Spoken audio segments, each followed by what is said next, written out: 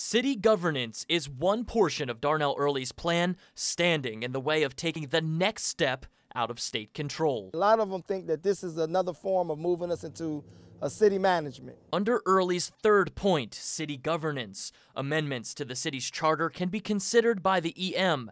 Council members are concerned the amendments may include the addition of a city manager or administrator. Very strong case to be made uh, for uh, a professional manager. What concerns me is is the way that council will be dictated. Councilman Eric Mays says the charter doesn't need to be amended because the city's governance didn't dig the city into debt. He says people did. If you put smart people in, then you get smart, good work.